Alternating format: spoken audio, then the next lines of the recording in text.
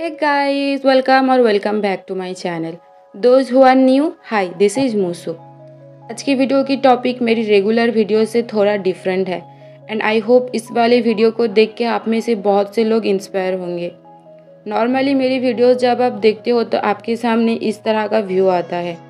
But इसके पीछे का बैकग्राउंड जुगाड़ और मेहनत आपको दिखाई नहीं देता है। तो आज की वीडियो में वही मैं आप लोगों को दिखाऊँगी मैं अपनी वीडियो शूट कैसे करती हूँ। सबसे पहले तो प्लेस दिखा देती हूँ जहाँ पे मैं अपना वीडियोस बनाती हूँ।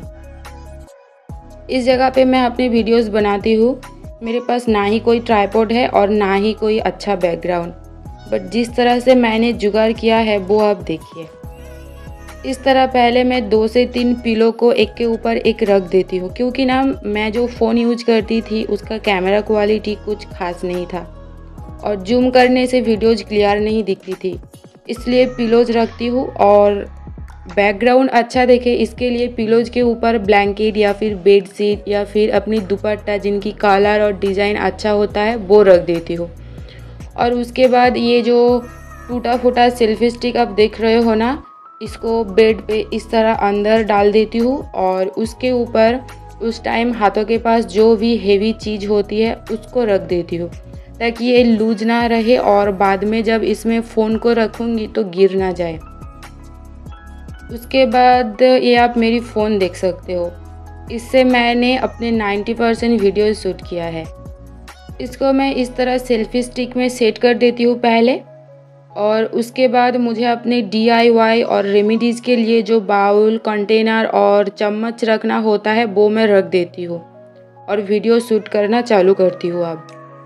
इसके पास ये जो जगह है, यहाँ पे मैं ज़रूरी सामान रखती हूँ जो मुझे वीडियोज़ के टाइम पे लगती है। और इसके ऊपर विंडो है जहाँ से डायरेक्ट सनलाइट आती है तो लाइटिंग की प्रॉब्लम नहीं होती है मुझे। और इस तरह से मेरी अच्छा खासा वीडियो बन जाता है। और ऐसे ही वीडियोस बना के मैंने आज साढ़े चार हज़ार सब्सक्राइबर भी गेन कर लिया है। तो अल्हम्दुलिल्लाह and thanks to all of you guys इस वीडियो के ज़रिए मैं सिर्फ़ इतना ही कहना चाहूँगी आपको कि अगर आपको कोई चीज़ करना अच्छा लगता हो और उसमें आपका पैसन हो तो ये फ़र्क नहीं पड़ता कि आपके पास कितना पैसा है, कैसा बैकग्राउंड है, कितना सामान है। आपके अंदर अगर करने की जिद हो तो आप कैसे भी जुगाड़ कर ही लोगे, जैसे मैंने किया है।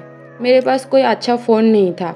जो फ़ोन था, वो ये साढ़े छः हज़ार या फिर सात हज़ार का रेडमी फाइव ए था, जिसका कैमरा क्वालिटी कुछ ज़्यादा खास नहीं था।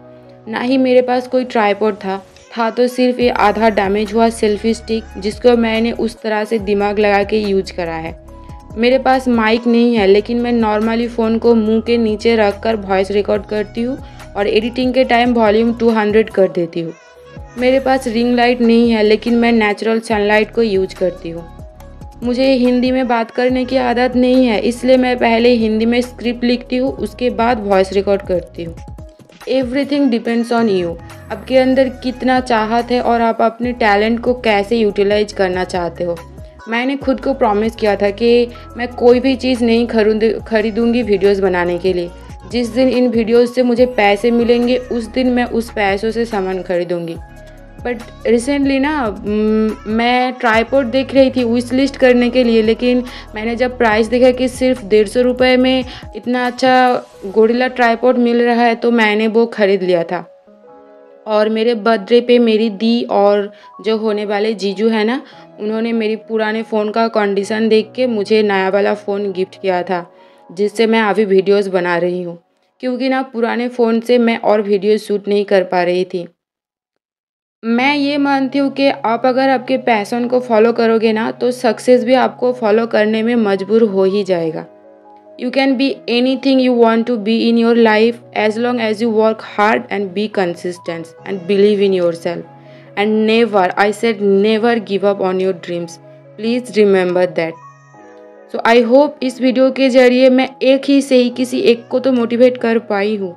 यही बहुत होगा मेरे लिए, क्योंकि चेंजेस हमेशा पहले एक से ही शुरू होता है।